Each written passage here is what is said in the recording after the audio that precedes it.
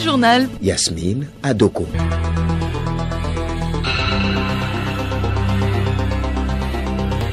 Madame, Monsieur, bonjour. Les titres de ce journal. La conférence des partis à la Convention cadre des Nations Unies sur les changements climatiques COP28 s'est ouverte ce jeudi à Dubaï. Plusieurs dirigeants du monde, parmi lesquels le président Forest Ozimnanya Zingbe, participent à ce sommet aux enjeux importants pour l'Afrique. Période des récoltes en cours. Est-ce que les récoltes ont une incidence sur les prix des céréales sur nos marchés? À suivre dans ce journal. Sport football féminin, les éperviers dames jouent tout à l'heure à 13h entre la Tanzanie. Une victoire va booster le moral de l'équipe avant le match retour mardi prochain au stade de Tégué à Lomé.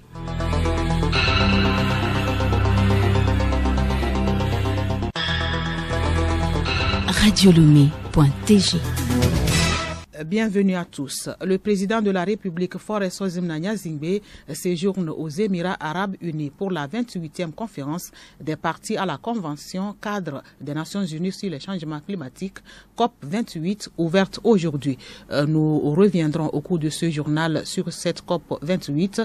Le temps de vous dire qu'arrivé à Dubaï, le président Forest Ozimnanya Zingbe a été reçu hier par son homologue émirati, Tchèque Mohamed bin Zayed El Nayan. Au cours de cette rencontre, les deux dirigeants ont passé en revue les relations bilatérales entre leurs pays respectifs et ont exploré les opportunités d'élargir la coopération, notamment dans des secteurs stratégiques. Avant les Émirats arabes unis, le chef de l'État Forest Zingbe était au Kazakhstan pour une visite officielle également.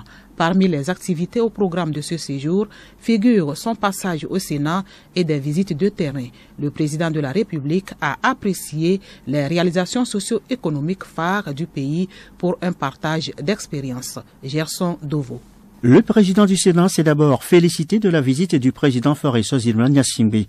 Une visite pour sceller un partenariat dynamique, notamment dans le domaine parlementaire, et ceci à travers un dialogue permanent et un partage d'expériences, surtout en matière de réforme institutionnelle. Molen Achibayev a aussi souhaité un partenariat économique fructueux entre les deux pays à travers des échanges commerciaux avec comme épicentre le port autonome de Lomé qui pourrait servir de porte d'entrée stratégique pour les marchés européens et asiatique. Il a par ailleurs relevé les opportunités d'investissement qu'offre son pays, particulièrement dans les domaines universitaires, touristiques ainsi que des investissements. À son tour, le président Forest Ozimlan Nyasingbe s'est félicité de la disponibilité du Parlement kazakh à échanger avec le Togo, dont l'atout précieux est la paix, mais aussi un environnement séduisant pour les investissements. Le chef de l'État s'est ensuite réjoui de l'architecture institutionnelle du Parlement kazakh, garantissant l'harmonie sociale et la gestion des conflits communautaires.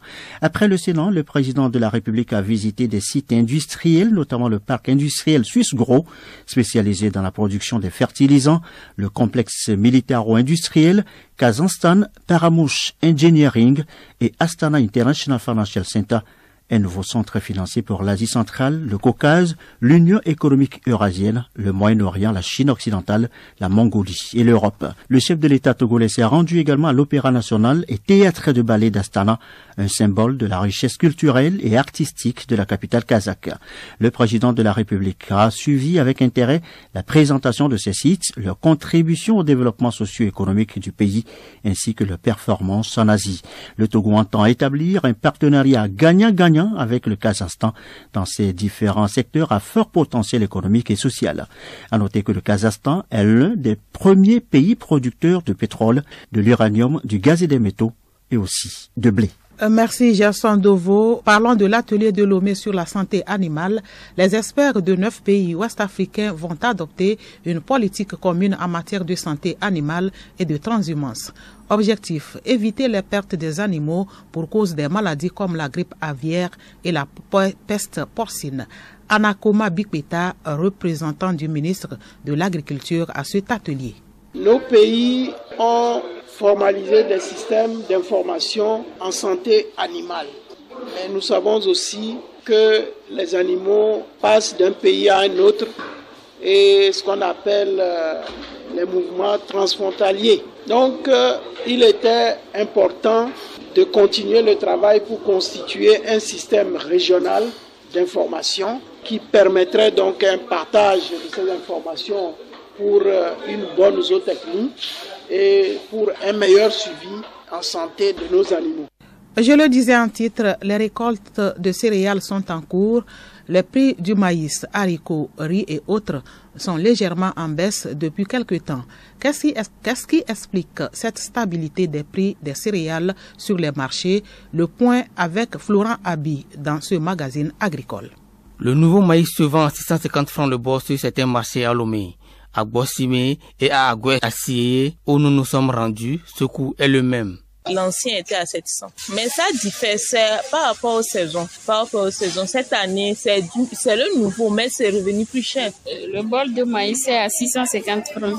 Ça a chuté, ça dépend, ça a chuté. Avant, c'était à 750. Maintenant, c'est à 650. Ce coût par rapport à celui de l'année dernière s'explique entre autres par la bonne pluviométrie et le rendement de cette denrée au cours de cette campagne agricole. C'est ce que nous expliquent quelques producteurs. Cette année, nous avons enregistré beaucoup de pluie, beaucoup. C'est ce qui a impacté négativement sur la production du soja, soja, l'igname, le sorgho. Le rendement est faible Pourtant, par contre, si nous, prenons, le maïs, le maïs a bien produit, le rendement est très bon. Et je tiens à dire merci au gouvernement. Les intrants, l'engrais, surtout l'engrais que le gouvernement nous a envoyé cette année, est très adapté à notre sol. La récolte a été bonne. Le maïs, ça s'est produit partout, c'est bon. Les consommateurs espèrent voir ce prix encore à la baisse à la fin des récoltes. On se défend. Même si ça ne va pas, on doit manger. Le blé est rochi. Il serait en play 650 mbaya ya sime et soit 750 blé le rochi. Mi de kuku mi kwe gbone mi awe na mi blé ne didi. Ya ple bli bi jam andra ku fa ba imote me mote to chana ho bi jen ba gbare ka. Blé rochi, e rochi toy ne didi. Ipo du pe ja blé rochi ole ba yo du pe vore le ke ja no do. On didi na mi. À jeudi prochain. Promotion de mode vestimentaire de chez nous, ce sera à travers un festival qui sensibilise également sur la lutte contre le paludisme. Edmond Soba. Le Festival international de la mode FIMO 228 a lancé sa onzième édition ce mercredi à Lomé. Au cours de cette édition, les défilés de mode se feront avec des pancartes pour sensibiliser contre le paludisme.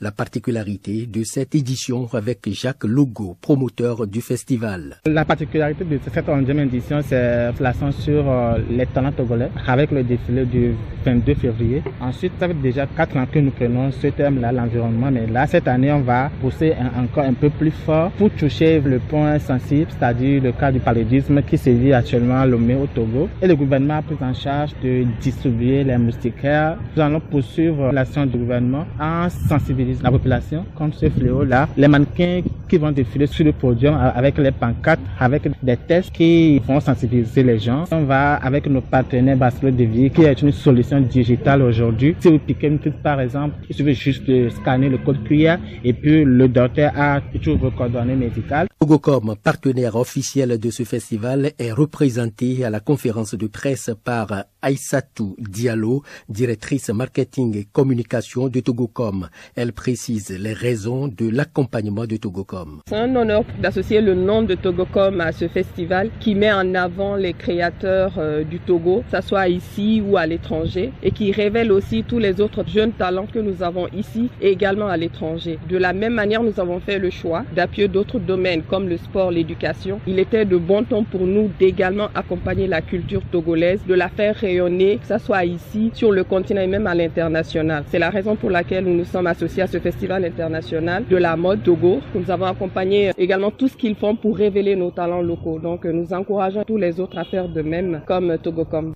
Venons-en au développement de l'information sur la COP 28. Nous nous plaignons souvent des aléas climatiques. La conférence internationale COP 28 planche sur le sujet à Dubaï aux Émirats arabes unis. Les enjeux pour l'Afrique à cette grande messe sur le climat s'articulent autour de cinq points. Juliette Camdet. D'abord, les pays africains rappellent les pays pollueurs de respecter leur engagement pris en 2009, celui de fournir 100 milliards de dollars par an en financement climatique jusqu'à 2020. Le second enjeu pour l'Afrique, augmenter la production d'énergie renouvelable, énergie solaire, éolienne, entre autres un impératif pour un continent d'1,4 milliard d'habitants, dont 600 millions n'ont pas accès à l'électricité. La taxe carbone est un autre point des dirigeants africains à la COP 28 pour permettre de lever les fonds nécessaires à ces investissements.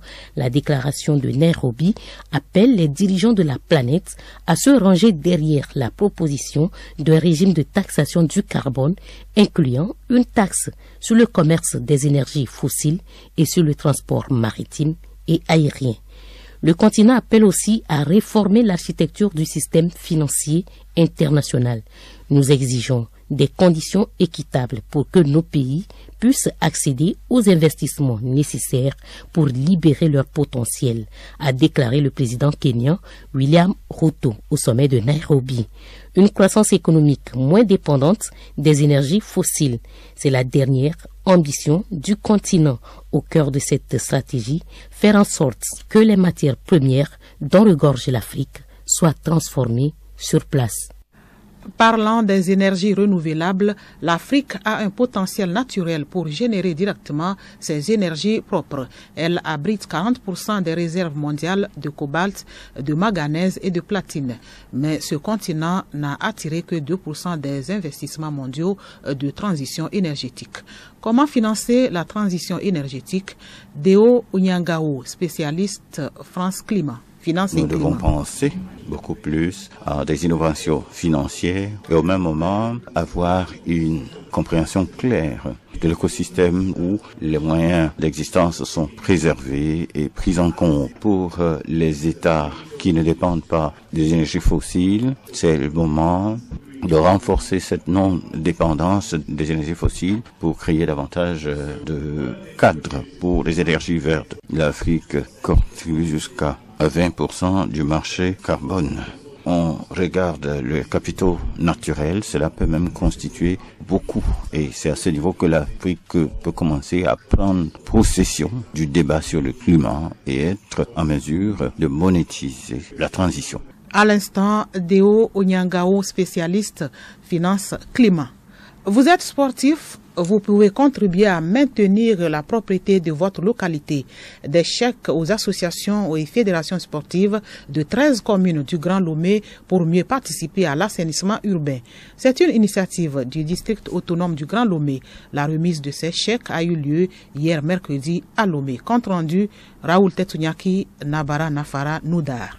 Cette activité s'inscrit dans le cadre de la mise en œuvre de la composante 4 sport et développement. Il s'agit de la troisième phase du projet environnement urbain de Lomé. Au total, neuf dossiers sportifs ont été retenus à l'issue de l'appel à projet. Ces projets sont financés à environ 35 millions de francs CFA. Agbemano Dina, directrice exécutive de l'ONG Avip Togo, une des bénéficiaires. Elle précise les actions à mener avec les fonds reçus. Avec euh, cet appui du DAGL, nous allons mettre en œuvre un projet qui est dénommé Sport, Femmes et Salubrité dans la commune 2 de la préfecture d'Aguenivé. Nous allons mobiliser la population et particulièrement les femmes et les personnes en situation de handicap à faire du sport tout en ramassant des ordures.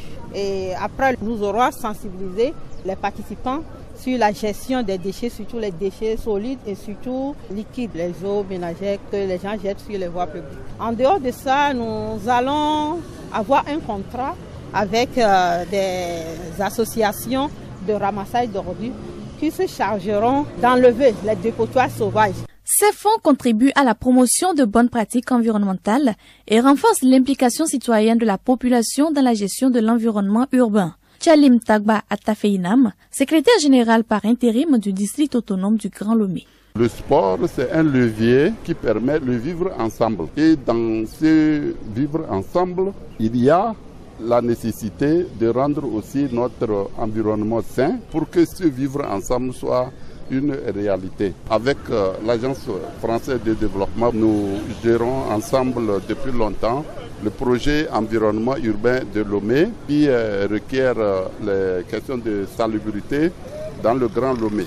Les projets ont été financés par l'Agence française de développement. Une signature de convention entre le district autonome du Grand Lomé et les associations bénéficiaires a mis fin à la cérémonie. Et comme on le dit, il faut un corps sain dans un environnement sain.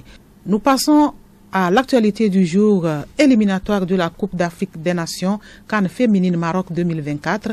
Le Togo joue tout à l'heure à 13h contre la Tanzanie.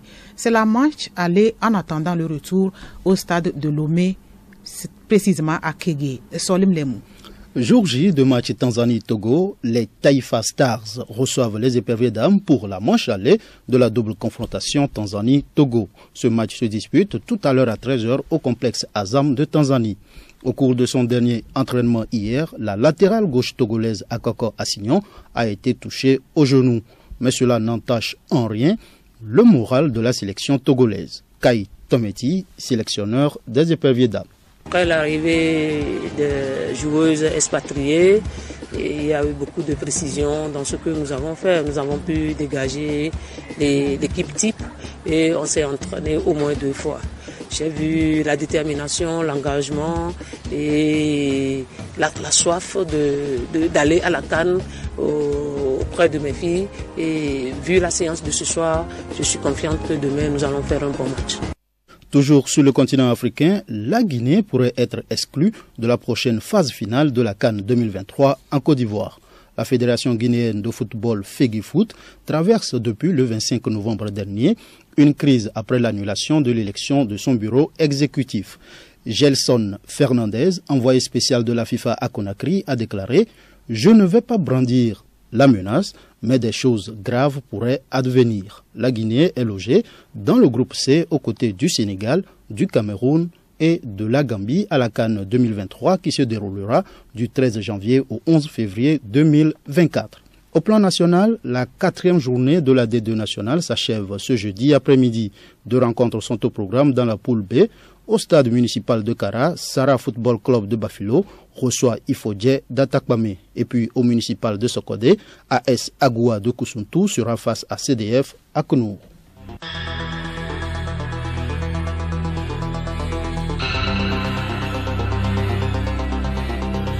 Madame, Monsieur, c'est la fin de ce journal dont voici le rappel de l'actualité. L'actualité du jour, donc, c'est la conférence des partis à la Convention cadre des Nations Unies pour le changement climatique, COP28, qui s'est ouverte donc aujourd'hui à Dubaï en présence du chef de l'État fort Esozimna Nyazimbe. Et puis, les éperviers dames jouent tout à l'heure à 13h la Tanzanie. Une victoire va booster le moral de l'équipe avant le match retour mardi prochain au stade de Kege à Lomé. Tous derrière les éperviers dames pour une victoire à Dar es Salaam. Merci d'avoir suivi le journal.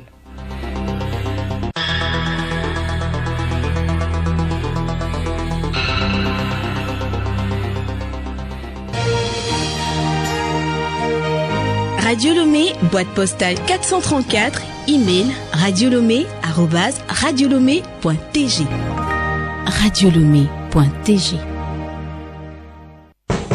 Gardez l'écoute. La, la pub. La pub. La pub.